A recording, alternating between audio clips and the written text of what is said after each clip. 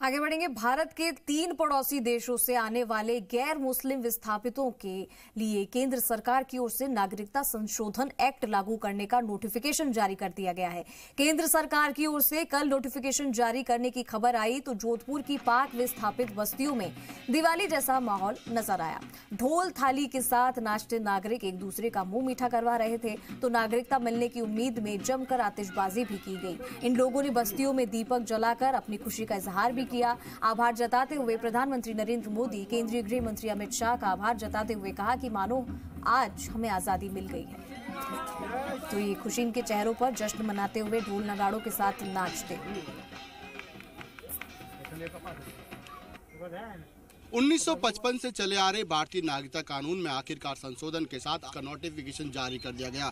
पाक विस्थापित जो कहने में तो एक शब्द था, लेकिन अफ़गानिस्तान, बांग्लादेश और पाकिस्तान से आने वाले गैर मुस्लिम लोगों को भारत में वापसी के बावजूद भी नागरिकता पाने में काफ़ी दिक्कतों का सामना करना पड़ रहा था।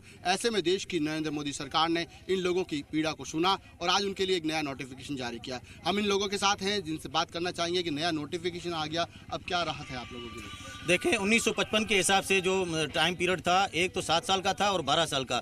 और इससे भी लोगों को यानी कि और लंबा समय जो है जो इंतज़ार करना पड़ रहा था। लेकिन अभी जो है 2019 के कानून के हिसाब से जो बिल्कुल पाँच साल के अंदर ही अंदर जो है, नागरिकता मिल पाएगी। और एक भारतीय नागरिक बन के जितनी भी जो सुविधाएँ हैं, वो एक नागरिक की तरह यहाँ पाकिस्तानी विस्थापित जो ले पाएगा।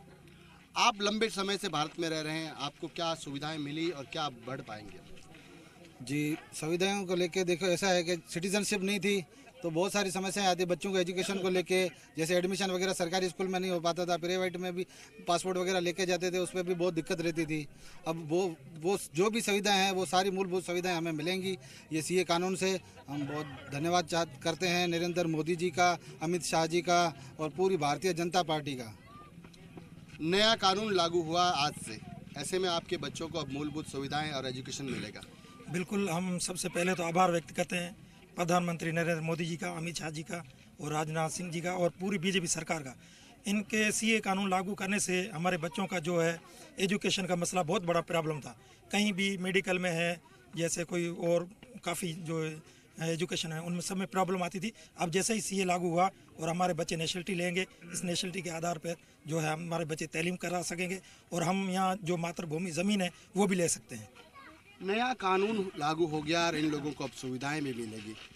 पाकिस्तान, बांग्लादेश और अफ़गानिस्तान से आने वाले गैर मुस्लिम जितने भी लोग हैं, उनको अब जल्द नागरिकता मिलने के लिए नया कानून लागू किया गया है। इससे इनके चेहरों पर खुशियों का माहौल देखा जा सकता है। कैमरा सहयोगी शिव सिंह के साथ राकेश भारद्वाज जी मीडिया, जोधपुर।